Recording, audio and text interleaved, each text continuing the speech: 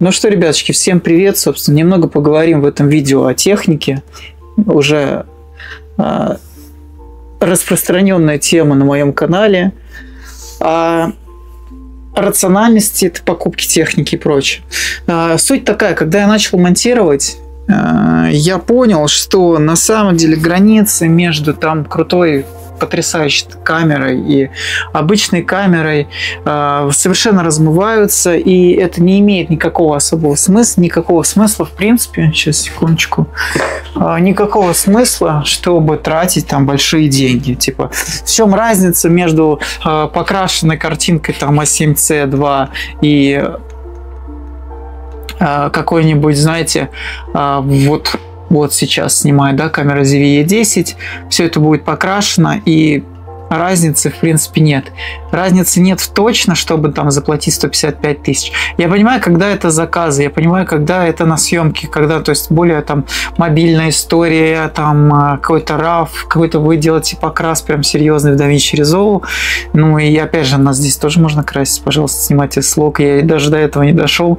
И просто я понял такую фишку, что ты как бы смотришь и проецируешь, ну ты смотришь чужую жизнь и проецируешь, что это типа ты ну, как вот смотрят блогеров, там испытывают несчастье, что они не богаты, что у них нет крутых машин и прочее. Ну, то есть, это как э, и там запрещена грамм. Ну, то есть, понимаете, э, блин, я просто насмотрелся э, не, не свою историю.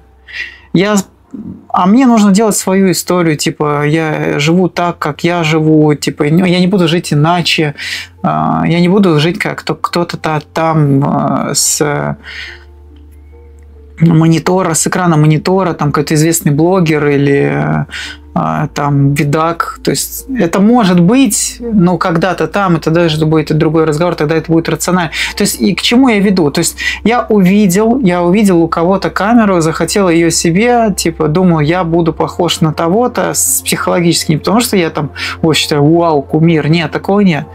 Ну просто это психологически, а фишку того, что я не снимаю в 4К, я не крашу так видосы, я просто не учитываю.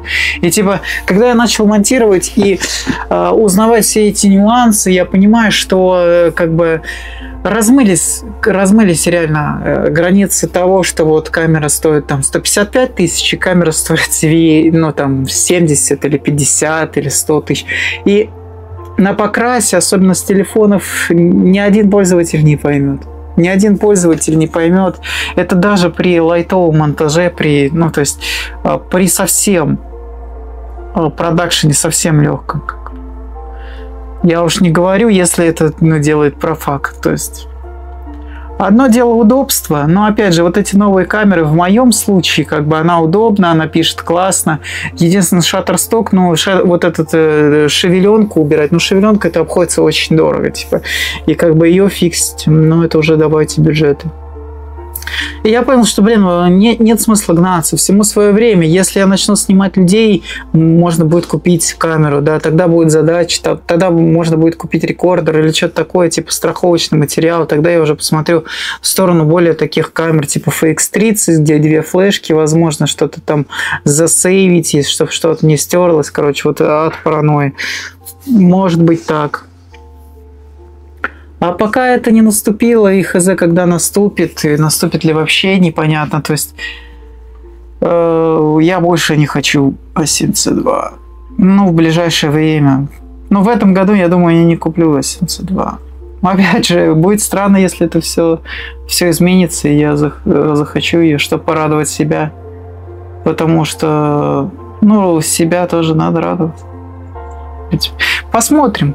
Ну, в общем, о чем речь? Если вы начинающий блогер, вы только начали себя снимать, у вас там простая камера, вы думаете, там, а, что вы купите какую-то крутую камеру, все изменится. Да нет, это все фигня полнейшая. То есть, и хватит смотреть этих блогеров, э, у которых крутые камеры. Вы просто не понимаете, что они на контрактах. В основном им завозят эти камеры, и у них есть бюджеты. Вы всегда представляете, что человек, типа, уже живет блогингом. Ну, то есть, он, это его работа. А когда это твоя работа, и у тебя это доход совершенно другой. Купить там какую-то хрень за 100 тысяч, ну, ребят, come on, это вообще не составляет труда. А когда ты обычный работяга и типа покупаешь первую камеру, или ты студент, ты покупаешь первую камеру и хочешь там а, какой-то комплект за 150-200 тысяч, ну, это очень накладно, особенно когда ты не снимаешь